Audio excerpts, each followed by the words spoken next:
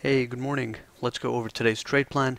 So in the overnight session, we were using 65 half to 67 half as support, and uh, the zone was tested multiple times in the overnight session and ended up finding responsive buyers. At this point, heading into the session, we know that the zone has been tested multiple times, so it does call for some caution. And in the event that we break below 65 half, it would bring 58 quarter to 61 quarter, or maybe even we could get a bounce off of 62 quarter.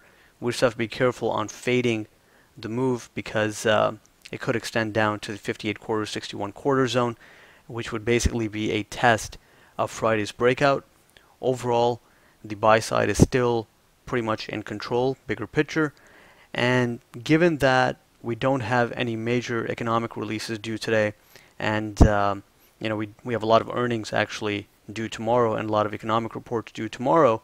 The expectation on the day is um, to look for more of a range-bound session where the market doesn't really make um, you know any big directional pushes one way or the other.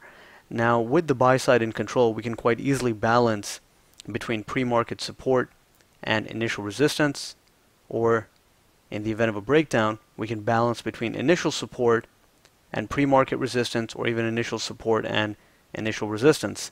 Uh, but in the event that we head down, we're probably not going to go all the way back up to um, Friday's high. Most likely, in the event of a breakdown, we'll find buyers over here and then balance between the initial support zone and the pre-market resistance zone, especially if uh, the open gap uh, doesn't get filled, right? So if we pretty much head down right off the open, that would actually be a higher probability long setup because we'd still have an open gap on the upside, which could serve as a upside target. But overall, you know, the idea is that there is no major catalyst, um, at least on the calendar, that can move this market big one, one way or the other. Now, on the uh, on the other headlines, as far as the problems in Ukraine, of course, there is some of that headline risk, and uh, with everything that's going on in uh, you know Israel and the violence over there, so there is some headline risk from that, uh, which you know of course is um, something you can't really plan for, but it's something to be aware of.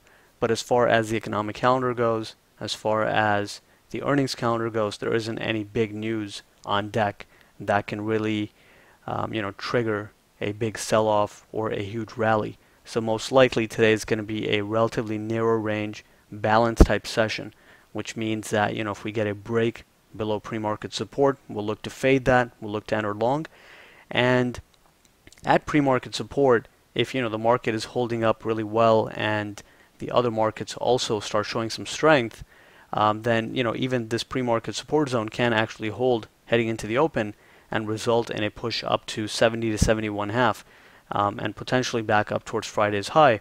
It's just that you know buying pre-market support at this point because we've already gotten some rotation at that zone is a little bit riskier. So if you want to play it a little bit more conservative, um, then you know the better idea is to wait, let the market kind of tip its hand, see which way it's going, and then try to identify a good spot to uh, get on board. But overall, you know, I'm thinking it's going to be more of a range-bound session. So if you miss the move, then this is not a market that you want to chase, right?